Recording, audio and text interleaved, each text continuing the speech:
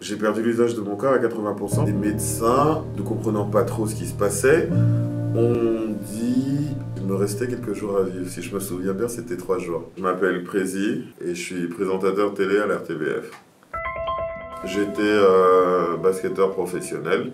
J'ai réussi à avoir une bourse, une bourse euh, canadienne, pour rejoindre en fait euh, une sorte d'école de, de, de sport-études qui devait me permettre en finalité bah, de rejoindre le, le, championnat, euh, bah, rentrer dans le circuit du championnat NBA. Qui qui donc c'est ça le plan.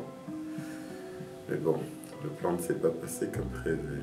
Quand on, a, on, est, quand, on est, quand on est ado, et qu'on arrive vers la majorité, on se dit toujours ouais ouais ouais quand j'aurai 18 ans, euh, je ferai ci, je ferai ça, je serai indépendant, j'aurai ci, j'aurai ça, enfin voilà, on voit le monde très grand, on voit les perspectives très grandes moi, ben, à mes 18 ans, ben, ma perspective, c'est euh, de partir à zéro. C'est euh, que, j'étais atteint d'une périarthrite euh, de type noueuse. En fait, ça a commencé par une inflammation brutale et, très aiguë de tout le corps.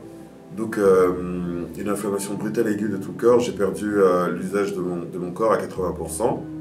Mon système immunitaire m'attaque. Pour mon système immunitaire, je suis un virus. J'ai perdu l'usage de mon corps à 80%, c'est-à-dire que euh, je ne pouvais plus rien faire sans quelqu'un. Pour quelqu'un qui a passé son temps à être, euh, à, être sur les terrains, à, jouer en, équipe, à être autonome du coup physiquement, ben, c'était le jour et la nuit. Hein. Et là, les médecins, ne comprenant, ne comprenant pas trop ce qui se passait, ont dit à mes parents euh, qu'il me restait quelques jours à vivre. Si je me souviens bien, c'était trois jours.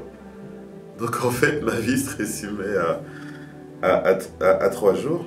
Ouais. Et donc, euh, euh, des souvenirs que j'en ai, on avait même dit à mes parents et à mes... Parce que je suis l'aîné de, trois sœurs, on avait dit à mes parents, mes sœurs, de venir me dire au revoir. Je crois qu'il y avait un truc comme ça. Mais quand on est nous-mêmes dans la situation, on réalise pas on réalise pas. Comment ça, dans trois jours, je, je serai plus en vie Ça va pas ou quoi? Désolé. Désolé.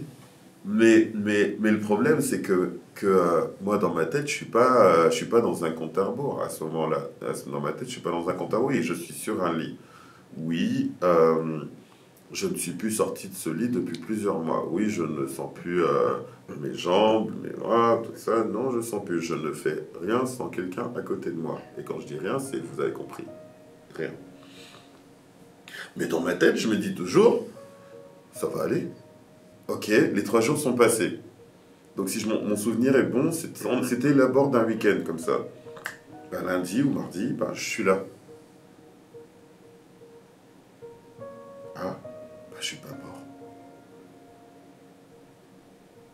Médecins, explication. Ah bah, il n'y a pas d'explication. On ne comprend pas trop, puisqu'on ne comprend même pas comment c'est arrivé. Après, euh, euh, donc la, kiné euh, et tout, et tout, et tout, et tout, bah, on a remarqué que, que, que ceux qui étaient venus et qui avaient causé cet état n'étaient plus là. Donc les médecins ne comprenaient pas, bah, ça avait disparu, prise de sang, tout ça, bah, disparition totale. J'ai réappris à marcher. c'est marrant. J'ai réappris à marcher, tenir des trucs avec les mains. Euh, je devais tout réapprendre. En fait, je devais tout réapprendre, je repartais à zéro. C'est pour ça que je dis que je suis né une deuxième fois. Je suis né de ma maman, de mes parents, ouais, première fois. Et maintenant, je suis, je, je, suis né à nouveau, mais de la vie. Des, des circonstances euh, malheureuses ou heureuses. Aujourd'hui, si on me pose la question, peut-être à cette époque, on me posait la question, j'aurais dit euh, circonstances malheureuses. Aujourd'hui, clairement, allez, soyons fous, situation euh, heureuse.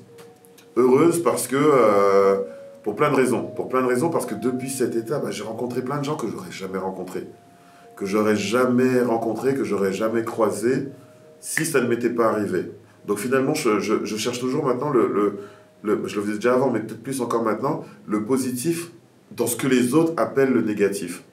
J'ai failli mourir. Qu'est-ce qui peut m'arriver de pire? Il peut rien m'arriver de pire. À part décidé d'être content. C'est tout.